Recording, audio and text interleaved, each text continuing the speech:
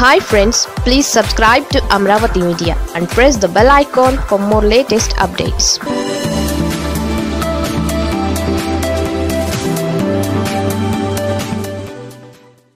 మోడీపై Jagan last punch ready.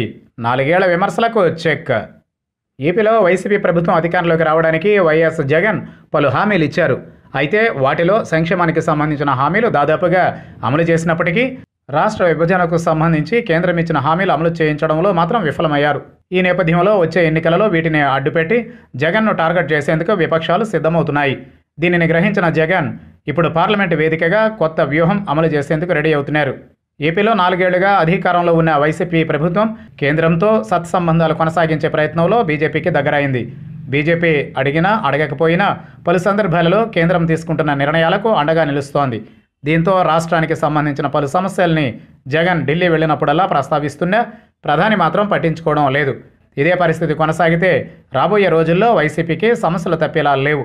దీంతో YS Jagan ప్రధాని మోడీపై ఈసారి లాస్ట్ పంచ్ విసిరేందుకు సిద్ధమవుతున్నారు.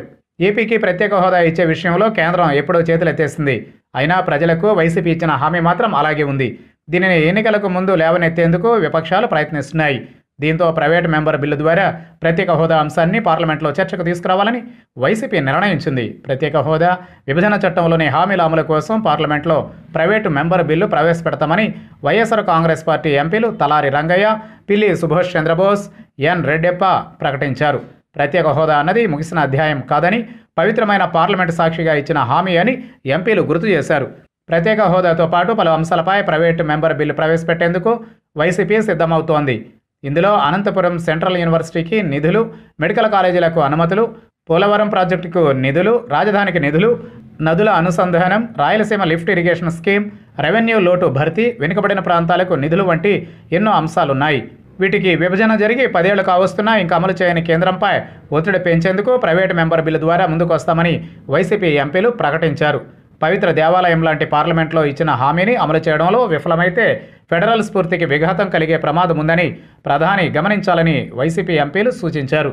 ఒక ప్రభుత్వం పార్లమెంట్లో ఒక హామీ ఇచ్చినప్పుడు దానిని ఖచ్చితంగా అమలు చేస్తారనే విశ్వాసం ప్రజల్లో ఉంటుందని ఇప్పటికే రాజకీయ పార్టీలపై ప్రజల్లో విశ్వాసం తగ్గిపోతోందని వారు తెలిపారు. చంద్రబాబు ఇచ్చిన ఆరు వందలకు పైగా హామీల్లో పది శాతం కూడా అమలు చేయలేదని ఇలాంటి రాజకీయ పార్టీలపై ప్రజల్లో ఎందుకు విశ్వాసం ఉంటుందని ప్రశ్నించారు. ఒక హామీ ఇచ్చామంటే ఖచ్చితంగా అమలు చేయాలని మా నాయకుడు వైఎస్ జగన్ చెప్పారని మొదటి రోజు నుంచే వాటి అమలుకు ఆయన కృషి చేశారని గుర్తు చేస్తున్నారు. అలానే ప్రత్యేక హోదాపై ఎవరు హామీ ఇచ్చారనేది పక్కన పెట్టి కేంద్ర ప్రభుత్వంగా హామీ ఇచ్చిందని గుర్తించాలన్నారు.